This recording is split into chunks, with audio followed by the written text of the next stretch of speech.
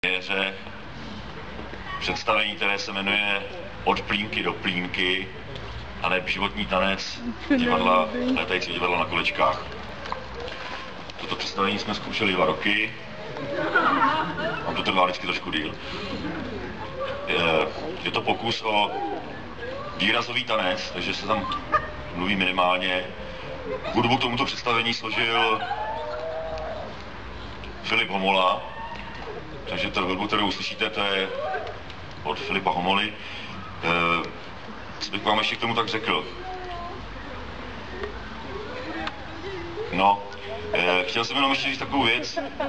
My jsme to zkoušeli, to představení, dva roky a během toho představení e, nám odešel